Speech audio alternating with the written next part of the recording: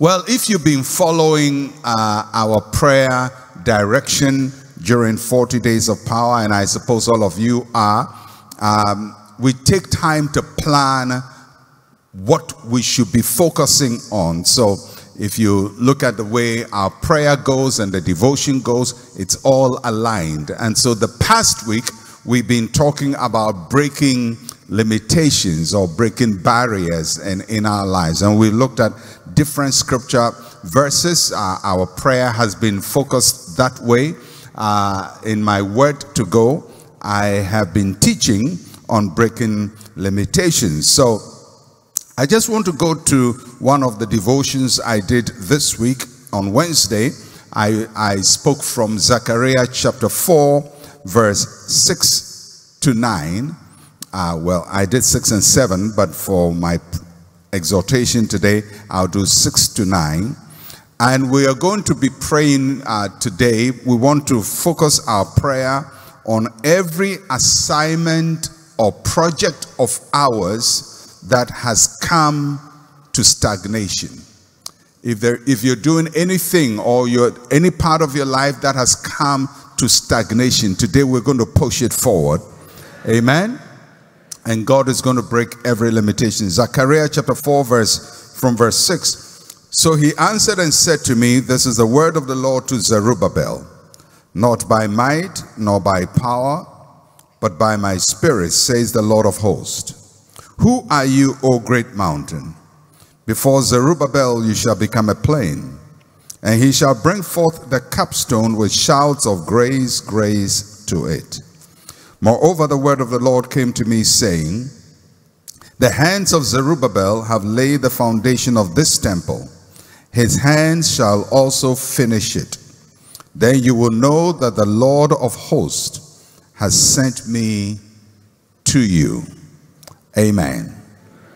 Now, the, the prophecy uh, is given by Zechariah to a man called Zerubbabel.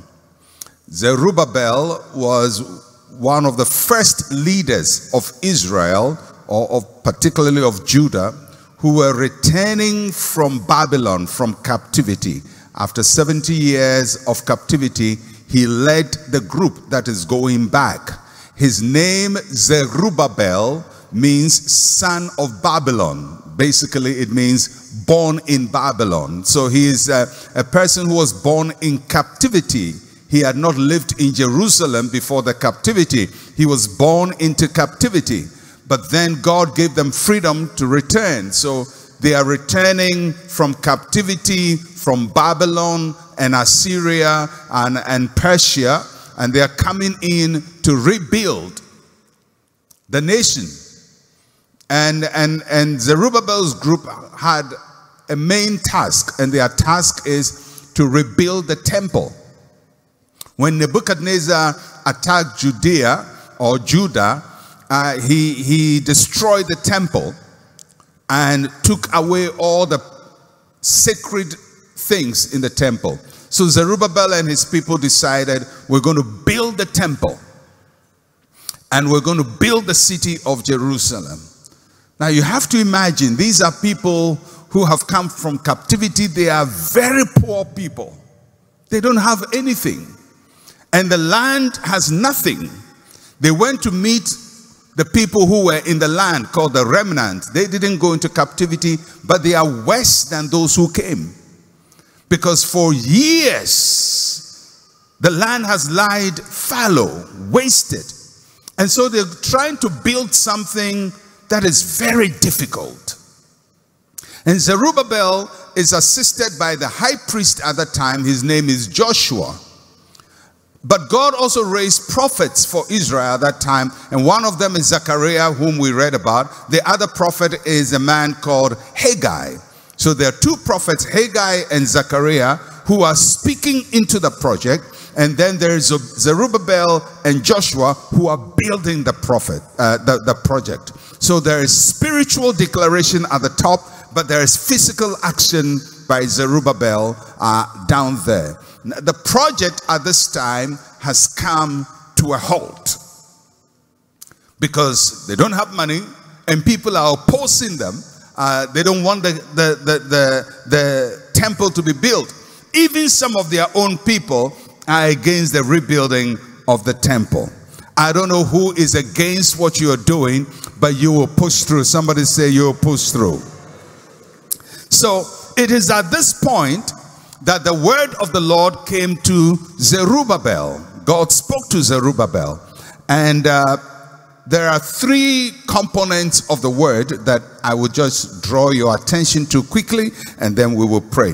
Verse 6, he says, So he answered and said to me, This is the word of the Lord to Zerubbabel, not by might, nor by power, but by my spirit, says the Lord of hosts not by might, not by power, but by my spirit, says the Lord of hosts. Not by might, nor by power, but by my spirit, says the Lord of hosts. It's not going to take your effort. It's not going to take your physical action. It's not even going to take your mental ability. But this is the work of the Spirit of God. I came to announce to somebody who is struggling. You have come to the end and nothing is working. You've pushed hard. You've struggled. You've cried. God says to you, this one, not by might, nor by power, but by my spirit, says the Lord of hosts. The spirit of God executes the word of God. What God says by his mouth, he achieves by his spirit. What God says by his word, he achieves by his spirit. So what God is saying to Zerubbabel, there is no physical force on earth that can help you. There's nothing you can do physically about this situation. You've come to the end of your physical endeavor. You've done all you can do naturally. But this one is going to move. But it's not going to be by power or by might, but by my spirit. There are things that our power can move. There are things that our might can move.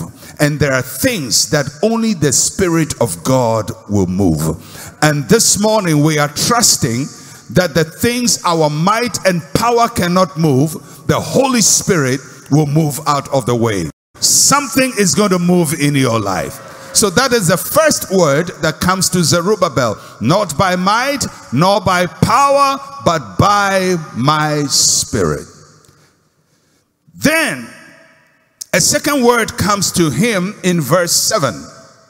Who are you, O great mountain? Before Zerubbabel, you shall become a plain, and he shall bring forth the capstone with shouts of grace, grace, to it. It's a word of defiance. Who are you, O great mountain? They call the problem a mountain. Why is it a mountain? Because it's a big obstruction. I don't know what mountain is standing before you, but you are going to ask that mountain a question of defiance. Who are you, O mountain? Who are you, O poverty? Who are you, this sickness? Who are you, this problem? Who, who do you think you are? When God speaks, who are you? When the Spirit of God is moving, who are you? It's a question of defiance. And then he says, before Zerubbabel, before this returnee refugee, this mountain will become a plain. Before you, the mountain will become a plain. Before you, before your own eyes, you would see it. That which was a mountain, that which stood tall, that which you couldn't move with your own eyes, you will see it become a plain. That means the mountain is going to move, the problem is going to shift. And this morning we're going to trust God for shifting of problems. And then he said, Zerubbabel shall bring the capstone with shouts of grace, grace to it. This is Zerubbabel who is stagnated. He can't move. But the word to Zerubbabel is you will bring the capstone. What is the capstone? The capstone in those days is the final stone you place on a project to declare that the project is completed. So when you build a building, you finish the building, you go and bring the capstone, you put the capstone there, and everybody shouts, Yeah, it's finished, congratulations. So the prophecy says Zerubbabel is going to bring the capstone. And when he puts the capstone on the temple, the people shall shout, Grace, grace to it. Favor, favor, favor is what is going to bring the capstone. So, what God is saying to Zerubbabel, now it's stagnated, but you will finish it. And then the third word that came to Zerubbabel, verse 8 Moreover, the word of the Lord came to me, saying, The hands of Zerubbabel have laid the foundation of this temple. His hands shall also finish it. Then you will know that the Lord of hosts has sent me to you. The hands of Zerubbabel have laid the foundation of this temple. His hands shall also finish it. The hand that laid the foundation will also finish it. These words were spoken to Zerubbabel by the same God we worship. My name is not Zerubbabel, I am Mensa Anamwa Otabil. But the God of Zerubbabel is my God. The God who spoke to Zechariah is my God. So although I am not Zerubbabel, I have his God. And he's a God who never changes. What he did yesterday, he can do today. And what he does today, he will do tomorrow. So we connect to the God who spoke to Zerubbabel. Although we are not him, the God of Zerubbabel is still our God. And this morning, this same God who spoke to a refugee, returnee, whose project had come to a standstill, is speaking to somebody here at Christ Temple East. And he's saying to you, not by might, nor by power, but by my spirit, says the Lord. He says, This mountain will be moved and become a plain. And he says to you, You will establish the capstone over that project. And he says to you, The same hand that laid the foundation shall also accomplish it. This morning, we want to activate our faith. Activate our faith. Because there are things in our lives that must be completed. They must be done. God spoke to you about it. You started in faith, and the enemy has come against it. But this morning, the mountain shall move. The mountain shall move. The mountain shall move in the name of Jesus. Not by might, nor by power, but by my spirit. Lift up your hands to heaven and begin to talk to the Holy Spirit of God. The Spirit of God who executes the Word of God. You who takes the Word of God and executes it. Oh, wind of the Spirit. Oh, breath of God. Oh, wind of the Spirit. Oh, breath of God. Oh, fire of God. Maka idebo sekaya Move on behalf of your people. Move on behalf of your people. Oh, breath of God. Oh, breath of God. Move on behalf of your people. Oh, Spirit of God. Move on behalf of your people. Oh, wind of God. Move on behalf of your people. Oh, talk to the Holy Spirit. He is the mover. He is the shaker. He is the mover. He is the shaker. The Holy Spirit is the one who moves and shakes situations. This morning, there's going to be a moving, there's coming a shaking, there's coming a shaking, there's coming a moving, there's coming a shaking, there's coming a moving, there's coming a shaking. Hey, it has been there for a long time, but it will move. Move. It will move. It will move.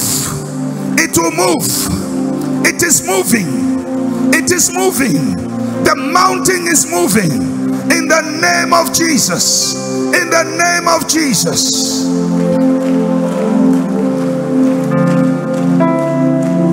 Who are you, oh great mountain? Who are you, O great mountain? Who are you, O this sickness? Who are you? Defy the problem. Don't accept it. Don't tolerate it. Who are you? Talk to your problem. Talk to the situation. Who are you? Who are you to defy the Spirit of God? Oh, push it, push it, push it. Push it. Push it.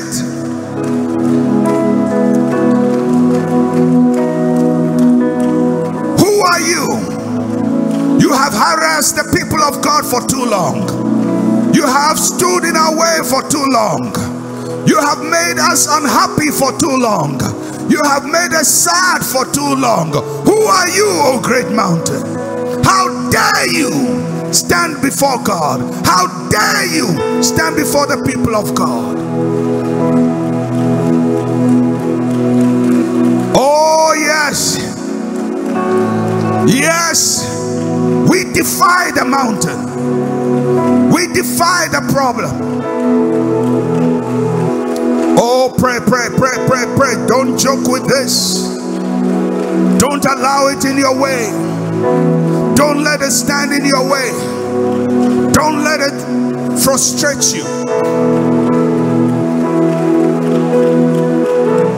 Kaya sitokaya. Mikatori igizaniata fora. Stovari, Ikaziona, Ichikataya, Metufari, Izagriana Kuta, Sifaranda Sokochei Vakasiana. Who are you, O mountain? Before ICGC, you will become a plain. Before God's people, you will become a plain. With our own eyes, we will see.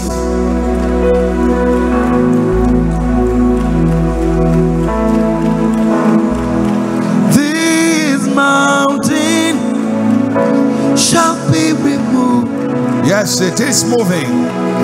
This mountain shall be removed. The name of Jesus. This mountain shall be removed by my spirit, says the Lord.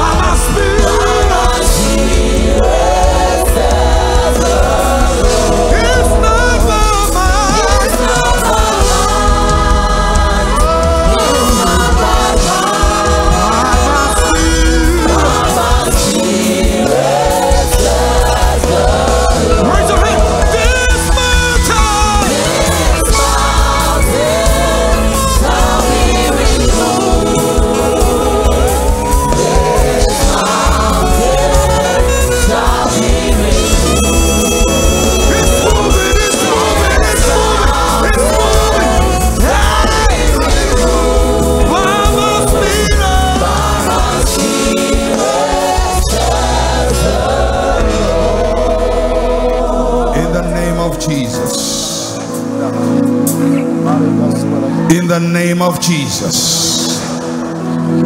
In the name of Jesus. In the name of Jesus. In the name of Jesus. Mountain, move. Mountain, move. Mountain, move. And the Lord said, You will bring the capstone. The final is going to happen. The project will be accomplished. What you started, it will be done. You will not be left midway. You will not be abandoned in the middle of the road. And he says, when the capstone comes, the people will declare grace, grace, grace to it. We are going to all declare grace this morning. I don't know what it is, but as we declare grace, we are bringing completion to the assignment. As we declare grace, we are seeing finality. As we declare grace, we are declaring God's favor to perfect what we have declared. We're going to say grace 12 times, 12 times, 12 times, 12 times. We declare grace, grace, grace. Let's start saying grace.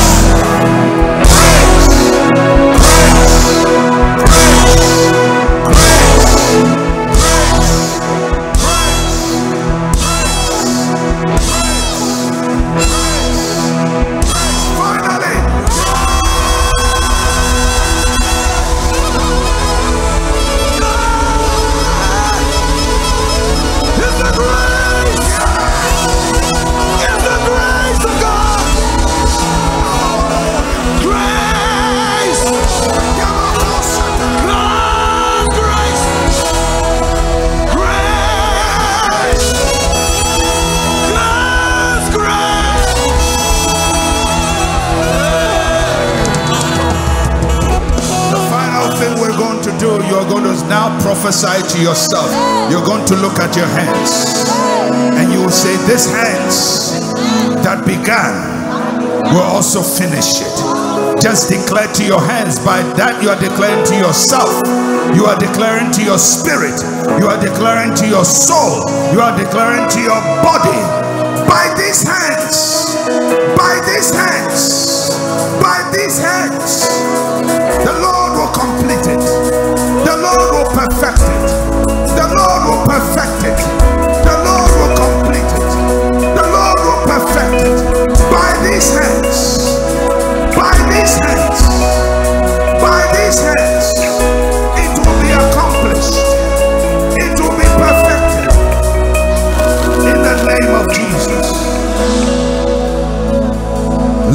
those hands to the Lord by every outstretched arm, representing people of God, by your outstretched arm that represents your faith, your endeavor, your project, your assignment. By these hands, God will bring you victory. By these hands, the Lord will bring deliverance. By these hands, you will accomplish what you started. By these hands you will not stop halfway. You will not be a disgrace. You will not be a reproach. People will not say he started and it didn't end. But you start and you will perfect it. You start and you will perfect it you will not go halfway you will go through to the end in the name of Jesus. In the name of Jesus, I speak to your hands. I speak to your life. Not by might, not by power, but by the Spirit of God. This mountain is out of the way. The capstone is set in place. By your hands, there is victory in Jesus' name. And if you truly believe that you're going to rejoice, you're going to rejoice, just lead us to rejoice, Pastor Edwin. Oh.